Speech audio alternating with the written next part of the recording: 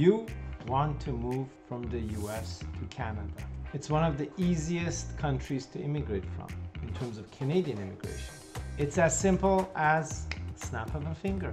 Whether you want to use CUSMA, the free trade agreement, or any of the other federal or provincial programs to move or set up your business in Canada, you're in the fast track lane applying from the US. Hello, my name is Reza and I work with the Ingwe Canada licensed immigration team helping applicants to move to Canada. Whether it's for yourself, your kids, your business, or all of the above, we do make it happen. Let me make this clear. I'm not an actual full-time YouTuber, but I work hands-on with our licensed team here in Canada working on actual applications and communicating with the immigration departments of Canada with their overseas embassies and inside Canada on a daily basis on behalf of our clients. These videos are made for the purpose of sharing our hands-on immigration knowledge with our worldwide audience. And if you're thinking about immigrating to Canada, we're here to help. Get a free email assessment with us by filling out the form down below for eligible applicants.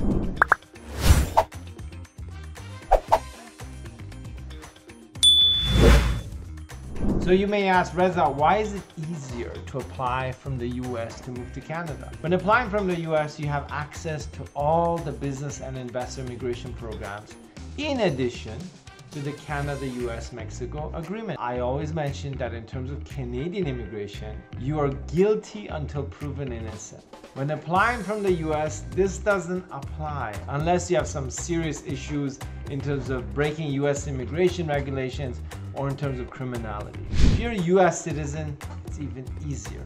Hop over anytime since you're visa exempt, come over and even if you've never set foot in Canada, your application will be approved just because you're American.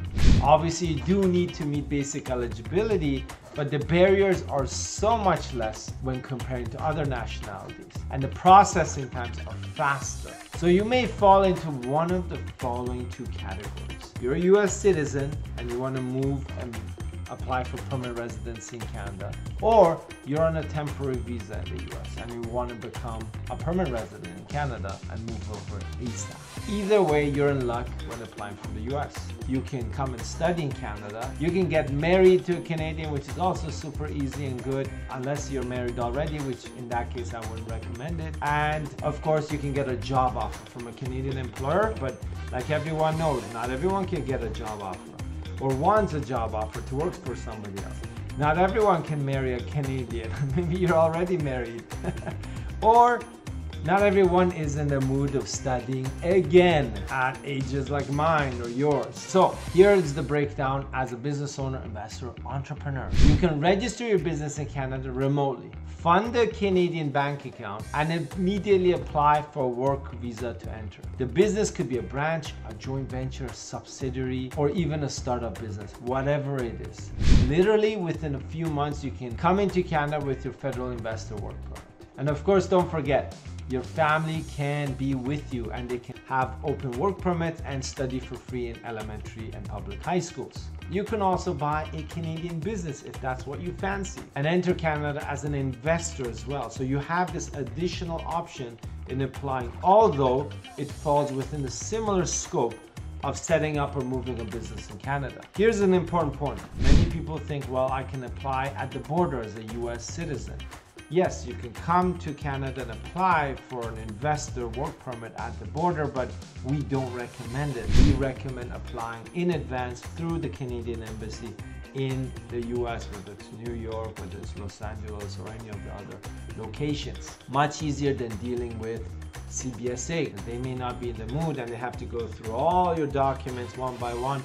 Unless you like sitting around for four to six hours waiting for a decision at the border, we recommend applying at home, online, waiting for decision, getting the approval, and picking up your work permit, not applying at the border. So you may ask, hey, I have a business concept, but no actual business. That's fine under any of these federal investor work permit, right, you can set up a business from scratch. And of course, we have the startup visa program as well, which is for brand new innovation business concept to set up in Canada. Now you're asking, how can I get my Canadian permanent residency, or also known as PR status. There's three ways to go about it. Come through the provincial nominee program for entrepreneurs. Not the best option for everyone, but that is the option. This means you can take the same route as a federal investor work permits, except that you're applying through the provincial program according to their eligibility criteria, which is typically more than the federal program's criteria. After they approve you based on your eligibility, business concept, and interview, and of course net worth audit, they will nominate you for a work permit. You run the business and after specified time by the province, they can nominate you for permanent residency. The upside is you're inside Canada, working and living with your entire family and dependents until your permanent residencies are applied and processed. Option 2, express entry. You may have heard of it. If you enter Canada with a federal investor work permit as a business owner or shareholder, we can convert you to permanent residency through this skilled immigration stream by giving yourself a job offer after one year of being on payroll and claiming bonus points. Sometimes we convert your spouse or partner to PR because they might be on your payroll in Canada and have a stronger profile for express entry than you have. And the beauty of all this, the whole family receives the permanent residency, no matter if you're inside of Canada or not. And this means your partner, spouse, and dependent children under the age of 22. The third way you could potentially obtain your permanent residency is through the other two federal economic programs called Startup Visa or Self-Employed Program. These programs are the only PR on arrival economic business programs anywhere in Canada. The processing times are slow for these two programs, but they do offer PR application plus optional work permit. So if you don't fancy the first two options I just explained to you for your PR, then consider these two programs if you are eligible. It should just be innovative, scalable, and have economic benefit for Canada. So if you're running a restaurant or a warehouse, this wouldn't really count on a startup visa. For the federal self-employed program, uh, you need to be a professional with experience in art, culture, or sports to apply for. So whatever your profile is, there is always a custom solution possible. How much should I invest to set up or move my business to Canada? The answer to this varies since you're coming from the US. If you have good revenue and business activity and you're planning to move it over, under the federal investor work permit program, we have to show significant economic benefit. If you can reroute your business here, then we can show that you're creating this and going to employ Canadians. That's enough. If your business is brick and mortar, well, you'll have to start from scratch. Typically a ballpark figure could be anywhere from 150,000 up to 250,000. And it all depends on your profile, your business, and the region. And of course, the Canadian dollar is 30% approximately less value than the US dollar, which makes it relatively cheap for US applicants. For the startup visa program to Canada, you can get away with less investment, even having investors from outside. So it's not all about the money. So if you're not sure about your business and what you need to invest or set up to get these approvals and your PR or permanent residency in Canada, let us know and we'll tell you how to navigate these programs. Last question. How much time does it, does it take to get my work permit, the investor work permit or visa from the US? Well, it can take three to four months from the US, which is pretty good. How long does it take to get my PR card after applying? Well, that takes minimum six months, and maximum 18 months, which is the provincial program. Startup visa, it can go even longer.